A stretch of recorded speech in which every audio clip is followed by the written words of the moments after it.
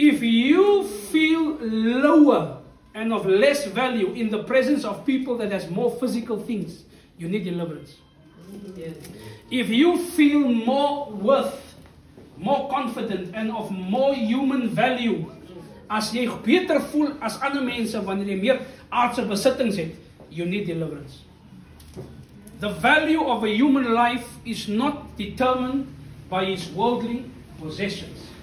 Bible says clearly, what does it benefit a man if he gains the whole world but loses what? His soul. Die ryk man het die hele wêreld gehad. Hy was so opgemaak deur sy rykdom dat hy eers sy gevoel vir sy medemens totaal en al verloor het. Geld, besittings, if your faith is in them, they have the ability om jou gewete dood te maak. Jou naaste liefde weg te laat koei. Jou waarde is in where you will end up in eternity, not where you end up in this world. Is daar iemand wat my hoor? Amen. You know there's many pastors they will never come here to preach in a house like this. Then they wonder why we have a big ministry mm. because we don't care about numbers and nonsense. I will go preach for two people. They will be too arrogant to come. Me, ek nou, hy's gaan preach wat nooit doen. Huh? Because they think that life is about the things that you see. Wie hoor wat ek sê?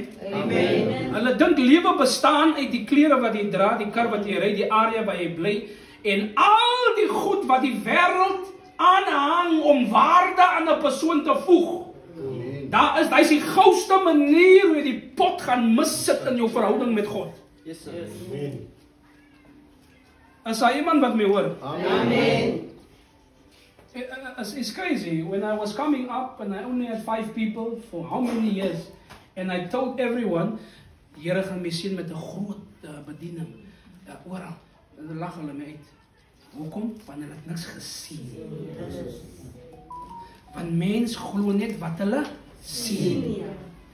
Die Bybel sê, we will live by faith and not by sight. Ons geloof, ons bekering, ons verhouding met God, ons ewigheidswaarde, ons waarde in die oë van God is gebaseer op geloof, nie op dit wat ons sien nie. Nie op die materiële dinge nie. Nie op aardse besittings nie. Wie hoor wat ek sê? Amen. En dis hoe mense mislei word vandag want hulle sê, "Ag, hey, die pastor, die profet, hy het 'n gevaarlike kar jong. Hy moet van die Here af wees."